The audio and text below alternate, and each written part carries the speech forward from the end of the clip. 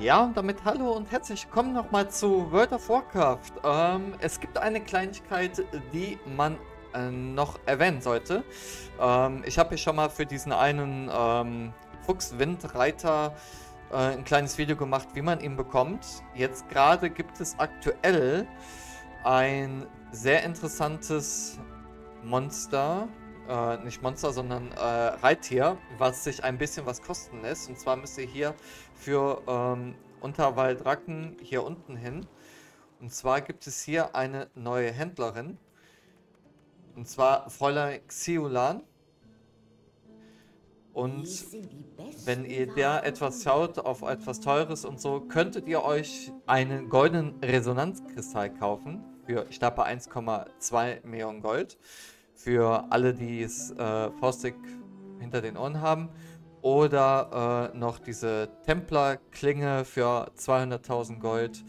Oder für 100.000 Gold dann auch noch dieses schöne Schild oder so. Oder, oder, oder. Ähm, also wer zu viel Gold hat, kann da gerne mal ein bisschen was verprassen.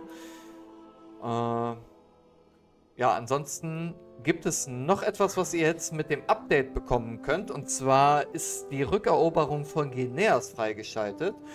Ähm, die habe ich eben mit Zoruk durchgezogen. Und da kriegt ihr den Züge, die Züge des genarischen Streuners, der auch äh, richtig nice aussieht. Zeige ich euch mal hier. Und zwar ein Albino-Fuchs mit, ja, rosanen Augen.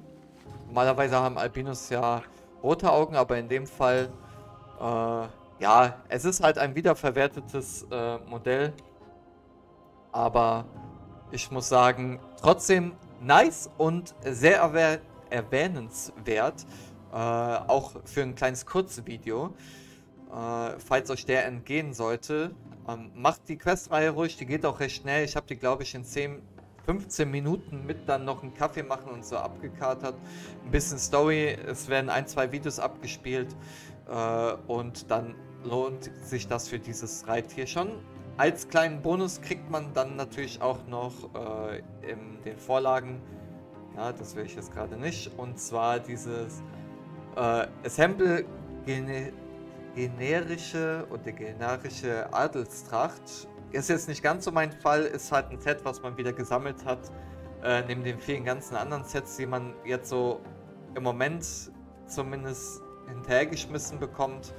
Und ja, wie gesagt, lasst, es, lasst euch das ein oder andere nicht entgehen. Diesen goldenen Käfer gibt es wahrscheinlich dann mit dem Pre-Patch von The War Within nicht mehr.